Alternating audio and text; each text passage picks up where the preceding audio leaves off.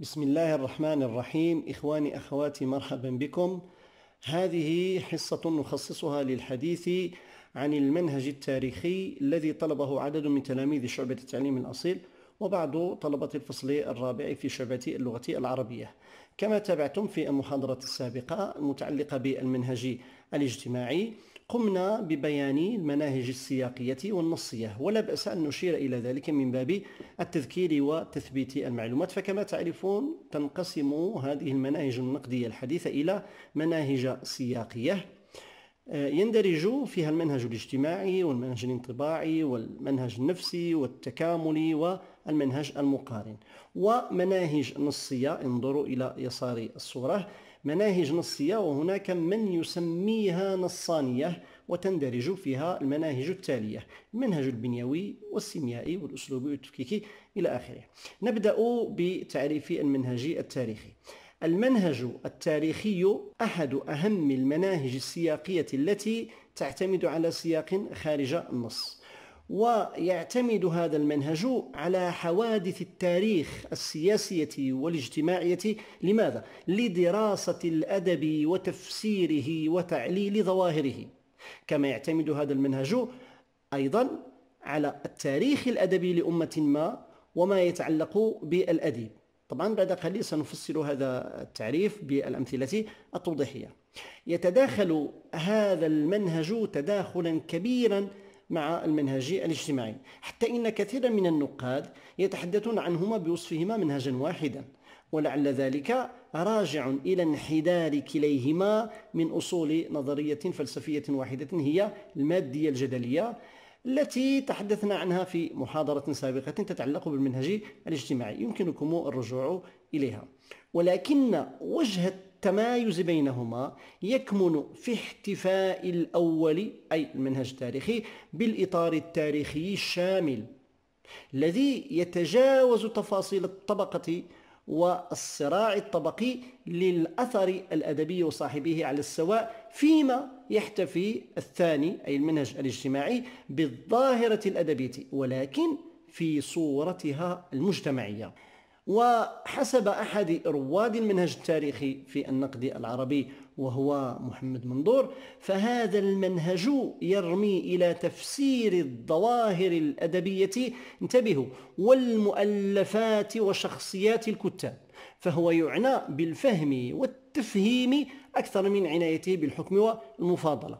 والنقاد الذين يجنحون إلى هذا النقد. يؤمنون بأن كل تفسير من الممكن بعد ذلك أن يخرج منه القارئ بحكم لنفسه. هكذا نقول إن المنهج التاريخي منهج يعتمد في فهم العوامل الخارجية التي أدت إلى نشأة الظواهر الأدبية المرتبطة بالمجتمع انطلاقا من قاعدة أساس هي الإنسان ابن بيئته. أعطيكم مثالا توضيحيا. تابعوا معي. لفهم رواية البؤساء لميزيغابل الرواية آه، الشهيرة لفيكتور هيغو لا بد من فهم العوامل الخارجية التي أدت إلى إنتاج هذه الظاهرة الأدبية الخالدة التي ترتبط بالمجتمع الفرنسي في فترة تاريخية معينة فقد كان في فرنسا ظلم اجتماعي بين سقوط نابليون بونابرت في 1815 والثورة الفاشلة ضد الملك لويس فيليب الأول في 1832 ففيكتور هيغو ابن بيئته أثرت فيه تلك العوامل الاجتماعية والسياسية في فترة تاريخية معينة ومهمة من تاريخ فرنسا. لذلك لا بد من معرفتها والاعتماد عليها في تفسير هذه الظاهرة الأدبية الخالدة وهي البؤساء. وهكذا نفهم أن فيكتور هيغو ابن بيئته ومعرفته ضرورية من وجهة نظر المنهج التاريخي. فبالرغم من كونه منتميان إلى الطبقة الأرستقراطية أثرت فيه البيئة العامة التي كانت تعيشها فرنسا من صراع كبير جدا كان أحد طرفيه الطبقة الكادحة والمظلومة التي تعاطف معها. لاحظوا أننا عرفنا الكاتب أيضا. وهذا مهم جدا في المنهج التاريخي. نقول إن فيكتور هيغو عبر عن ثقافة ناتجة عن البيئة والبيئة إنما هي جزء من التاريخ. هكذا يمكن اعتبار النقد حسب هذا المنهج تأريخا للأديب وإنتاجاته اعتمادا على بيئته. ويرى عدد من الدارسين أن المنهج التاريخي أحد أكثر المناهج اعتمادا في ميدان البحوث الأدبية لأنه في نظرهم أكثر صلاحية لتتبع الظواهر الكبرى في الأدب ودراسة تطورها. ننتقل إلى نشأة هذا المنهج في الغرب مع ذكر أهم أعلامه. لا بد أن نشير بداية. إلى أهم العوامل التي أدت إلى ظهور المنهج التاريخي في الغرب. فقد انتشرت أفكار تقول إن الأدب تعبير عن الإنسان وعصره كما لوحظ أن الأدب ينمو ويتطور مع الزمن. وكانت هناك دعوات إلى تجاوز النقد التأثري الذي كان سائدا ومهيمنا على الدراسات النقدية. فكان لابد من البحث عن منهج نقدي يكون مبنيا على أسس علمية فظهر المنهج التاريخي في نهاية القرن التاسع عشر. أول رواد المنهج التاريخي الذي سنتحدث عنه هو إيبوليتان يعتبر ما سمي بالنقد العلمي لدى الفيلسوف والناقد والمؤرخ الفرنسي إيبوليتان شكلا مبكرا للمنهج التاريخي وقد استند فيه على ثلاثيته المشهورة العرق والبيئة والعصر. العرق أي الخصائص الوراثية المشتركة بين أفراد الأمة الواحدة المنتمية إلى جنس معين. البيئة أو الوسط ويقصد بذلك الفضاء الجغرافي وآثاره الاجتماعية في الإنتاجات الأدبية. العصر ويقصد به مختلف الظروف السياسية والثقافية والاجتماعية والدينية التي تؤثر في النصوص الأدبية. ويسعى إيبوليتان إلى اعتبار الإنسان نتاج الوراثة والبيئة متأثرا بالفلسفة الداروينية نسبة إلى داروين صاحب نظرية التطور. هنا لابد أن نشرح باقتضاب هذه النظرية التي لم يسبق أن تحدثت عنها. هذه النظرية تنسب إلى تشارلز داروين وهو عالم طبيعي وجيولوجي إنجليزي ولد في بداية القرن التاسع عشر بالضبط سنة 1809 اشتهر بنظريته المعروفة التطور أو نظرية النشوء والارتقاء التي تنص على أن كل الكائنات الحية على مر الزمان تنحدر من أصل مشترك. نظريته الشهيرة هذه واجهت انتقادا كبيرا خصوصا من قبل رجال الدين في جميع أنحاء العالم فكيف يمكن القبول مثلا أن الإنسان أصله قرد؟ طبعا يمكنكم التوسع في هذه النظرية التي أرخت بظلالها على بدايات المنهج التاريخي الذي ندرسه. الناقد الثاني الذي سنراه هو فيردينون برونوتيير. اعتمد أيضا هذا الناقد الفرنسي على نظرية داروين وحاول جاهدا تطبيقها على الأدب معتبرا الأشكال الأدبية كائنات عضوية تطورت كما تطور القرد إلى إنسان. طبعا حسب نظرية داروين تطور الأدب أيضا من نوع إلى نوع آخر. وقد تحدث عن ذلك في كتابه الشهير تطور الأنواع الأدبية في تاريخ الأدب L'évolution des genres dans l'histoire de la littérature. على غرار الكتاب المشهور لداروين أصل الأنواع. فقد ذهب إلى أن الآداب تنقسم إلى فصائل أدبية مختلفة كالكائنات الحية وأنها تنمو وتتكاثر وتتطور متحولة من البساطة إلى التركيب خلال تعاقب الأزمنة لتصل إلى مرحلة النضج وبعدها تصل إلى مرحلة التلاشي والانقراض تماما كما انقرضت بعض الفصائل الحيوانية. ويستشهد برينتيار على تطور الأنواع الأدبية بالخطابة الدينية في القرن السابع عشر فقد تحولت حسب رأيه من الحديث عن سمو الإنسان وحقارته وزوال الحياة إلى الشعر الرومانسي في القرن التاسع عشر الذي تناول الموضوعات ذاتها. موضوع العاطفة الروحية والشكوى والصراع مع المجتمع والحياة والهروب إلى الطبيعة مع اختلاف بين صياغة الخطابة والشعر. إلى جانب رموز النقد العلمي هناك أعلام آخرون أرسوا مبادئ النقد التاريخي في أوروبا. نذكر منهم الناقد الفرنسي سانت بوف. هذا الناقد الفرنسي ركز على شخصية الأديب تركيزا مطلقا.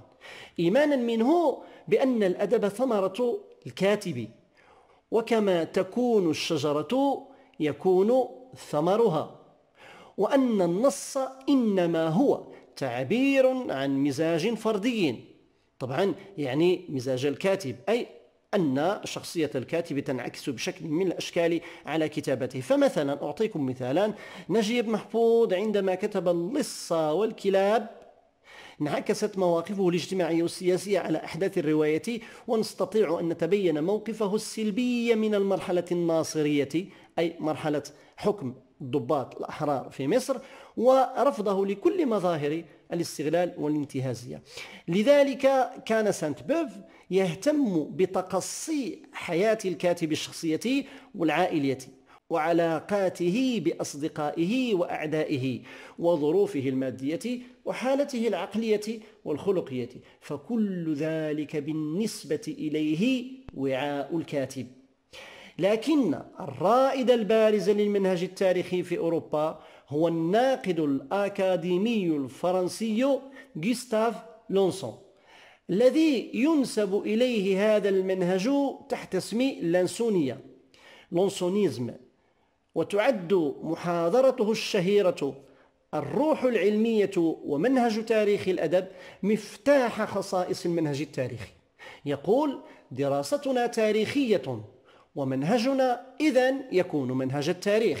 فالمنهج اللانسوني يهتم كثيرا بتاريخ النفس الإنسانية والحضارة القومية وهذا يفسر اهتمام لونسون بروائع المؤلفات معتبرا إياها منطلقا أساسا في دراسته التفسيرية للظاهرة الأدبية.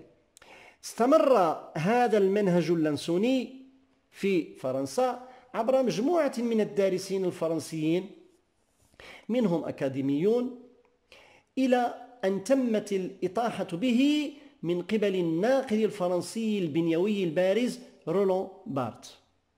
الآن المنهج التاريخي في النقد العربي. في النقد العربي تمثل نهايات الربع الأول من القرن العشرين تاريخا لبداية الممارسة النقدية التاريخية.